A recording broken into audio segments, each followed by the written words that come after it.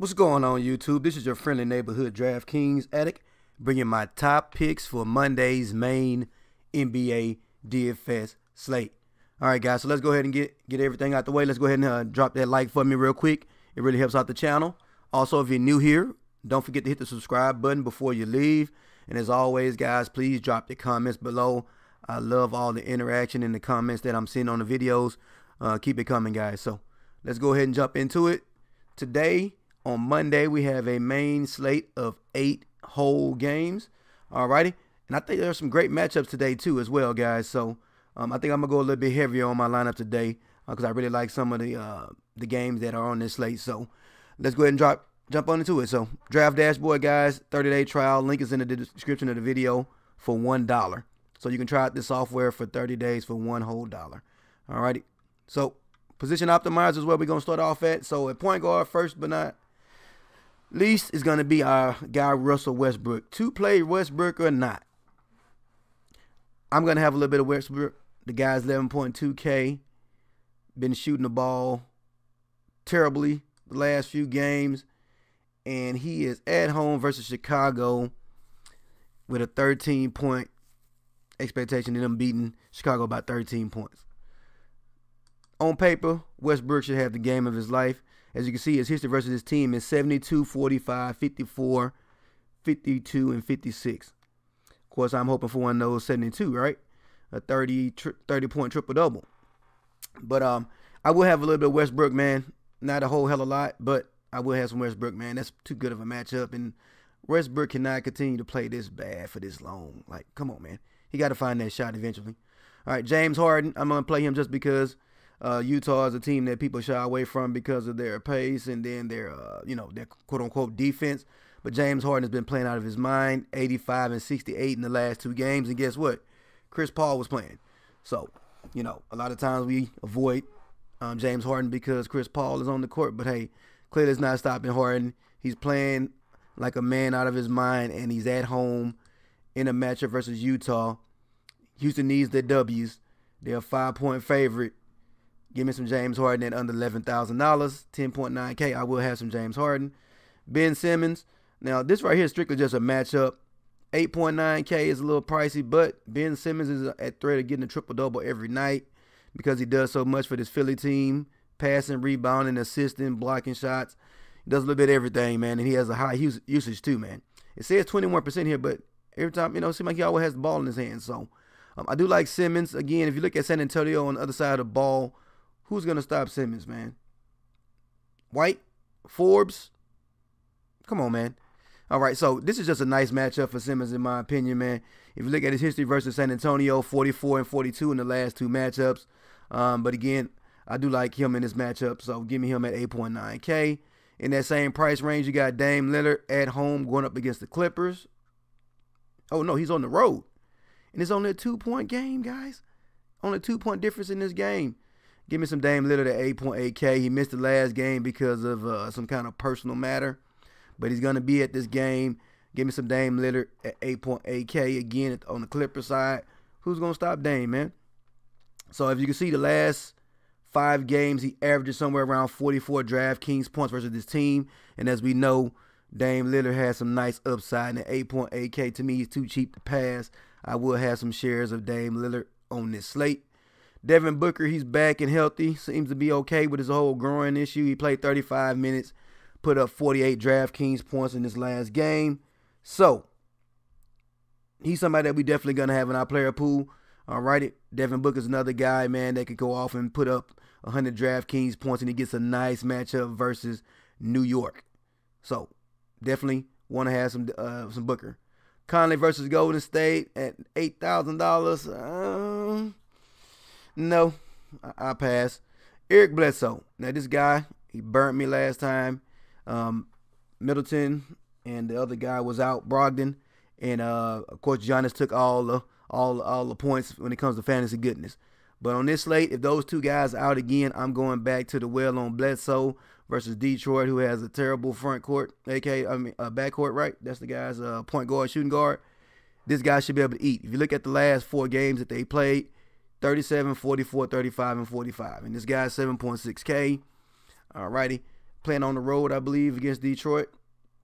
Yep, four point over and under. The difference in the in uh, in the two teams scoring. So I like Bledsoe at seven point six k. Man, I'm going back to the well there, man. De'Aaron Fox has been playing well as well. 49 and 46 in his last two games. He's at uh, let me see, they're at Minnesota or is he? Uh, they're at Minnesota.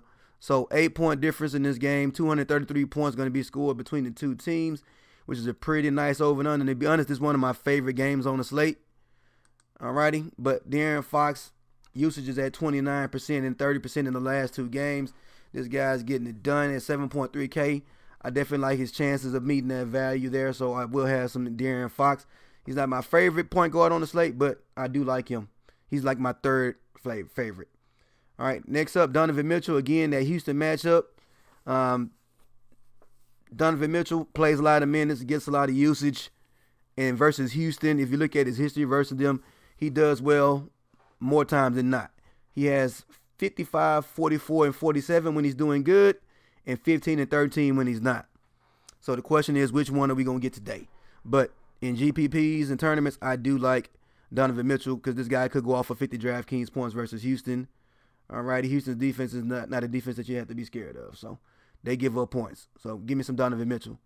D Rose come off the bench, 6.3K versus Sacramento in one of the highest over under games on the slate. Um, playing 30 minutes on average for the last three games. I like D Rose at 6.3K. Give me some of that. Alrighty. Mudiay had a nice game, put up 53 two games ago and 30 in the last game that he played. Gets a nice matchup versus Phoenix, but his price is up because of that to 6K. And at that price range, I think I'm gonna go other other places, even though he has a nice matchup versus Phoenix.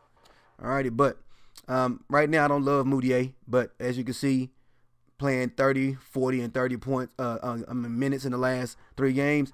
So he's playing a lot of minutes.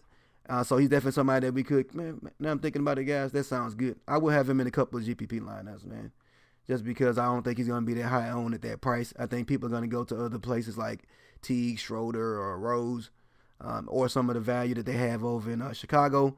But uh, I will have some Mudiay. I'm going to go and get some of that. Because that game is going to be a nice game. 225, and I believe it's a one point differential, 1.5% uh, a point differential. So I definitely like some uh, some Mudiay. I'm going to go ahead and give, give me some of that. I put him in my player pool. Uh, TJ McConnell, no thank you. Lena, no thank you. I'm going down a little further. Chris Dunn should get a lot of run. Alrighty. So right now, let me see just to make sure. Yep.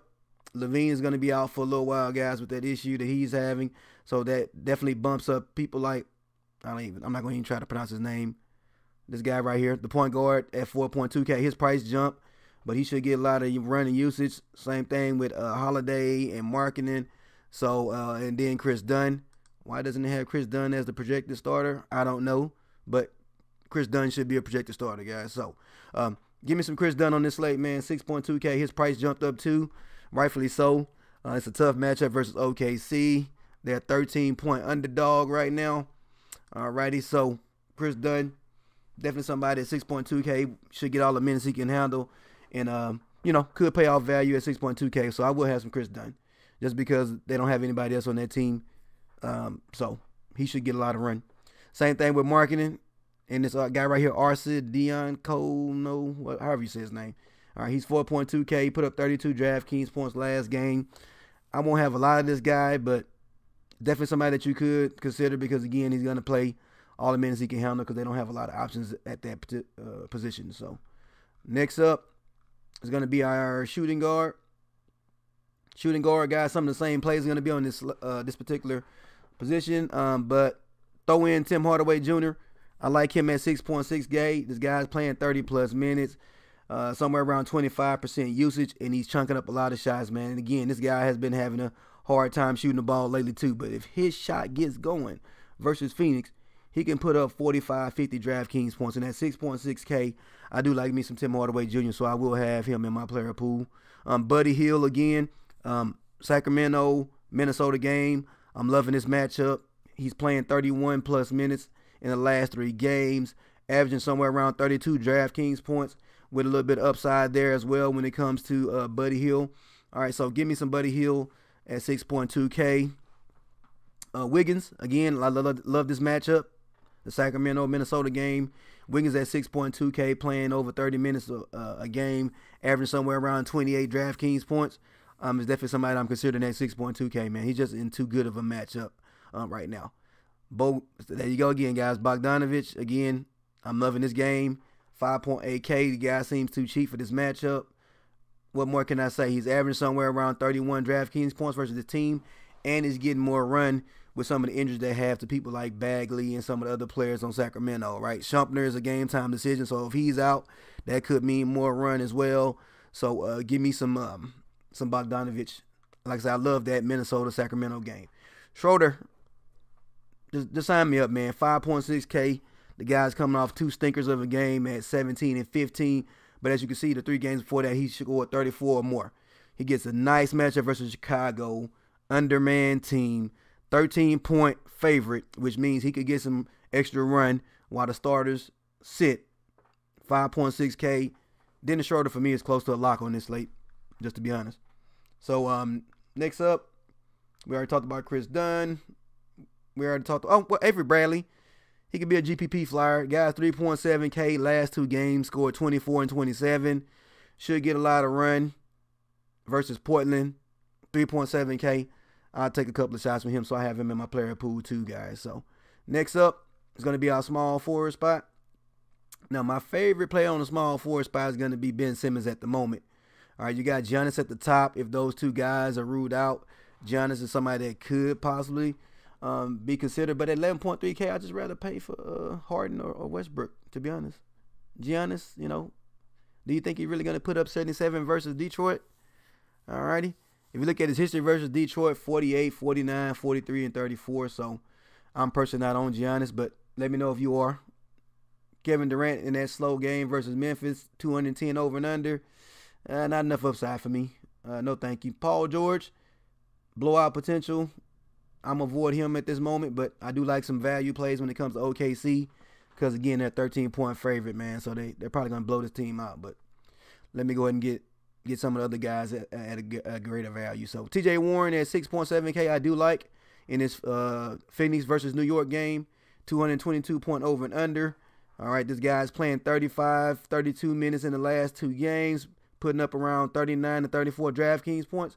So give me some of that T.J. Warren, even though we saw um, Devin Booker come back. He still put up 34 DraftKings points. So give me some of him. He's going to be able to rebound and assist and do some other things. So he should be okay for 6.7K. Gallinari, give me some of that one. Again, this Portland versus uh, Clippers game is another game that I like. And Gallinari at 6.6K seems too cheap. Um, again, if you look at his uh, history, he's scoring 38, 28, 27, 28, 37 in the last two games versus Portland and again, he's getting high minutes. So give me some um some Gallinari. Again, he's a big that they need as well because they're a little little, little, little slim when it comes to their bigs, right?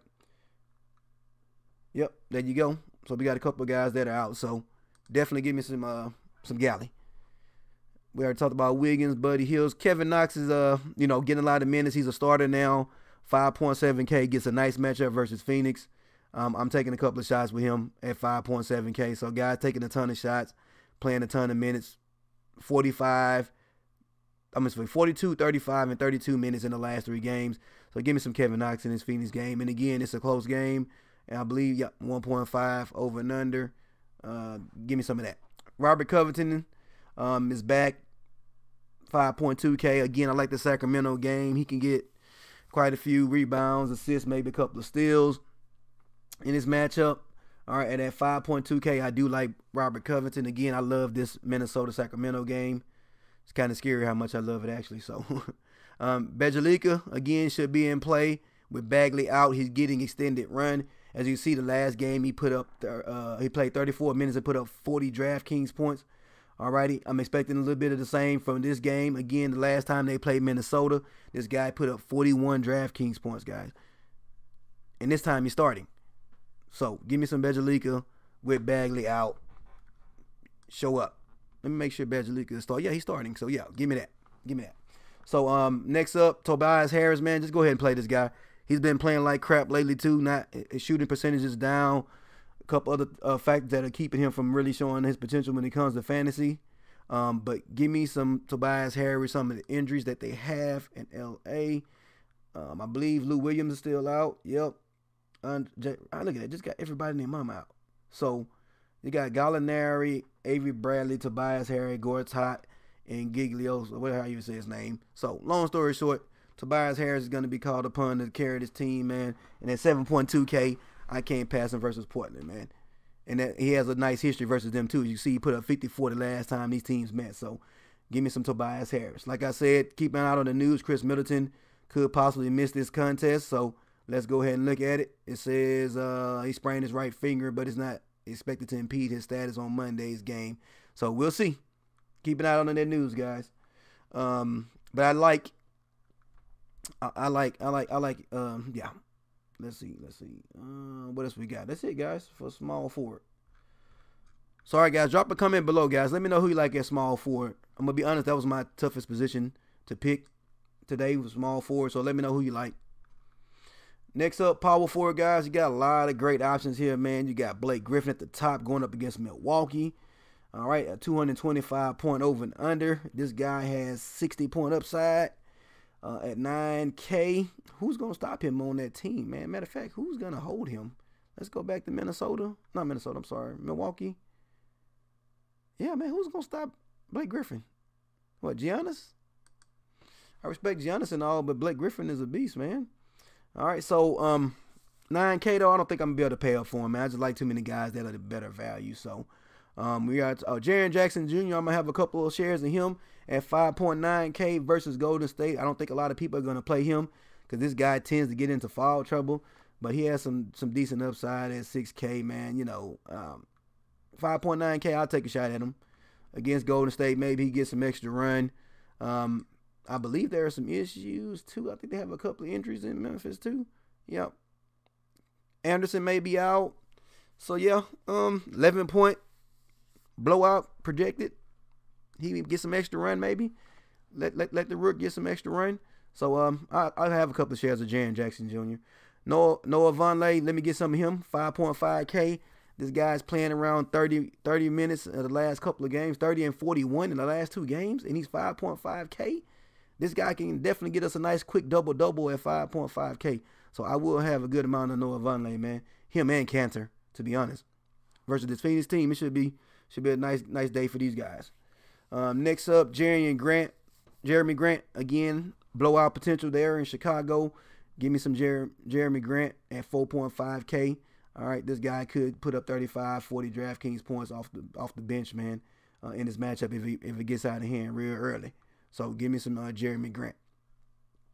Next up, um, we already talked about Tobias Harris. And then Markkanen again with the uh, injuries in Chicago. Markkanen should get all the run he can uh, handle, and he's going to be shooting the ball, so that shot is dropping. I like him to pay off that that uh, price tag at 6.5K. If you look at the last three matchups versus this team, he scored 45, 34, and 30. So he has a definitely has a positive history versus this team and at 6.5K. I know it's a 13 point over and under. I'm going to go with me some Markkanen. Anyway, so next up, last but not least, the center spot. So at the top of the pack, guys, for me, my favorite center on this slate is going to be Karl-Anthony Towns versus Sacramento, man. I got to do it, man. Look at it 46, 67, 60, 57, and 70. The last five times he's faced this team, he's averaging 58 DraftKings points versus Sacramento. I mean versus uh, Minnesota. Oh yeah, Sacramento. My bad. what is going on today? Uh, but long story short, man, get get you some Karl-Anthony Towns, man. He's pretty much a lock for me. All right, you got Joel Embiid versus San Antonio. Who knows which San Antonio team is going to show up? If this game is going to be even competitive, let's see what the over and under is for that game. Oh, it hadn't came out yet, so it's still to be determined. But um, definitely Embiid is always in play at 10.6K. But I'd rather take the discount of $600. Give me some Karl-Anthony Towns who can have similar upside as Embiid, especially versus the Sacramento team, man. So give me a whole bunch of Karl-Anthony Towns. Drummond versus Milwaukee, eh, I don't love it. No, thank you. Aldridge, you can't trust him. I got lucky last last time he played. He put up 50 DraftKings points for me, but I don't trust him versus Embiid and his Philly team.